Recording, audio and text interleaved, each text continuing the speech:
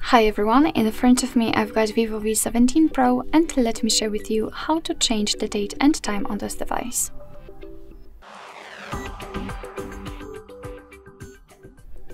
So first of all we have to enter the settings and then let's scroll in order to find system management.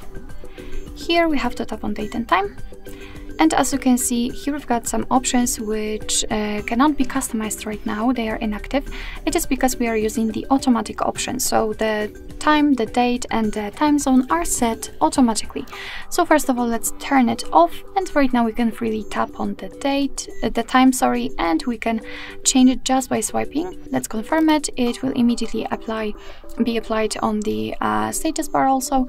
Let's pick the date, the same situation, just by swiping confirm and the time zone we can enter it. And as you can see here we've got the full list of available time zones from which we can choose.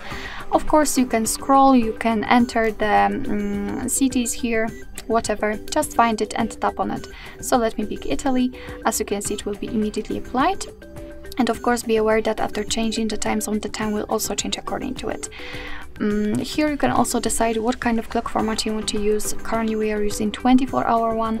If you want to use 12 hour uh, format, just turn this option off by tapping on the switcher.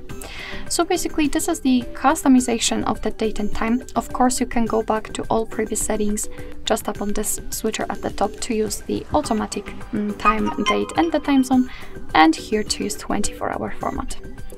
Alright, so that'll be all. Thank you so much for watching. I hope that this video was helpful and if it was, please hit the subscribe button and leave the thumbs up.